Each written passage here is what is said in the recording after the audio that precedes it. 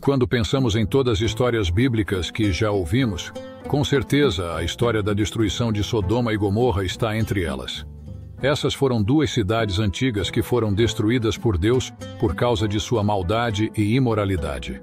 Mas você sabe a verdadeira história por trás desse evento bíblico? Quem eram Ló e Abrão e qual foi o papel deles nessa tragédia? Neste vídeo, vamos explorar os fatos, as lendas e as lições que podemos aprender com Sodoma e Gomorra. Saudações, pessoal, antes de prosseguirmos com o vídeo. Peço que nos ajude deixando o seu like.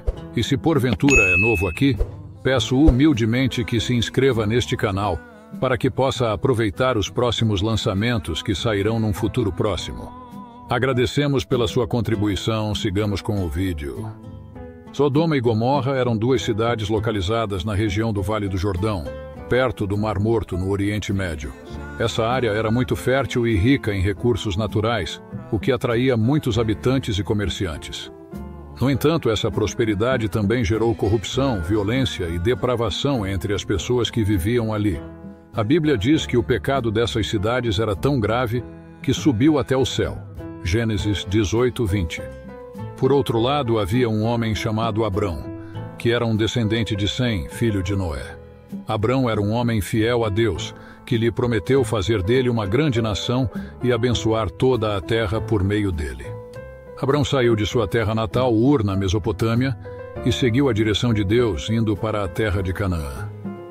Ele levou consigo sua esposa Sara, seu sobrinho Ló e todos os seus bens e servos.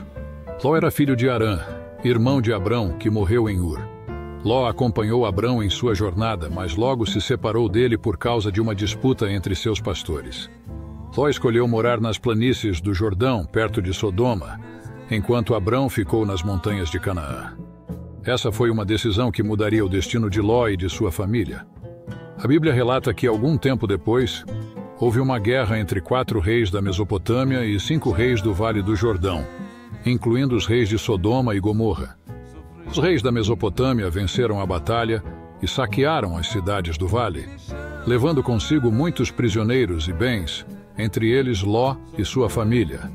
Quando Abrão soube disso, ele reuniu seus homens e foi atrás dos invasores, conseguindo resgatar Ló e tudo o que lhe pertencia. Abrão também devolveu tudo o que havia sido roubado das outras cidades, e foi abençoado por Melquisedeque, rei de Salém, e sacerdote de Deus.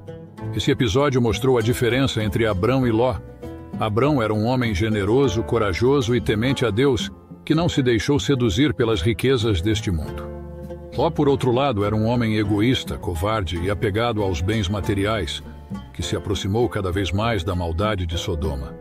A Bíblia diz que Ló morava em Sodoma, Gênesis 14, 12, e que se assentou à porta de Sodoma, Gênesis 19, 1 o que indica que ele tinha uma posição de influência e prestígio na cidade. Deus, porém, não se esqueceu do pecado de Sodoma e Gomorra e decidiu destruí-las. Mas antes disso, ele revelou seu plano a Abrão, que intercedeu pelas cidades, perguntando a Deus se ele pouparia as cidades se houvesse ali alguns justos. Deus concordou em não destruir as cidades se houvesse pelo menos dez justos nelas. Mas, infelizmente, não havia nem mesmo esse número. Então Deus enviou dois anjos a Sodoma, que foram recebidos por Ló em sua casa. Ló ofereceu-lhes hospitalidade, mas logo foi cercado por uma multidão de homens de Sodoma, que queriam abusar dos visitantes. Ló tentou protegê-los, oferecendo suas duas filhas virgens em troca. Mas os homens se recusaram e tentaram arrombar a porta.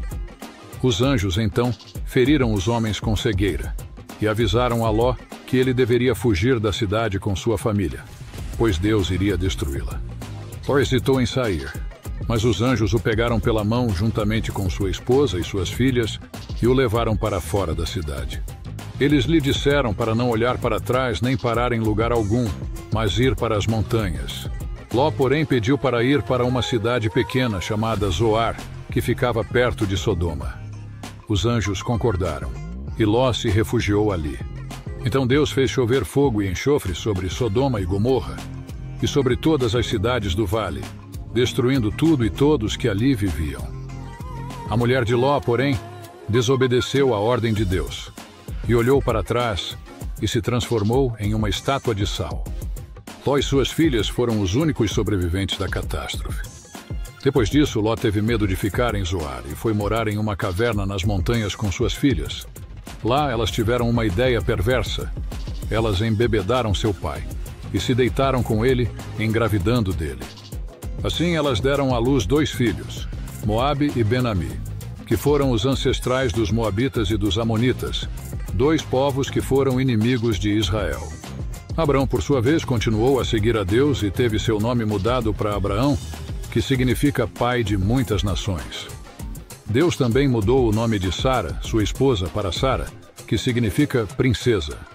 Deus cumpriu sua promessa e deu a Abraão e Sara um filho chamado Isaque, que foi o pai de Jacó, que foi o pai das doze tribos de Israel. Abraão é considerado o pai da fé e o amigo de Deus. A história de Sodoma e Gomorra nos ensina muitas coisas. Ela nos mostra a gravidade do pecado e a justiça de Deus, que não tolera a maldade e a rebeldia dos homens. Ela também nos mostra a misericórdia de Deus, que salva os que se arrependem e confiam nele.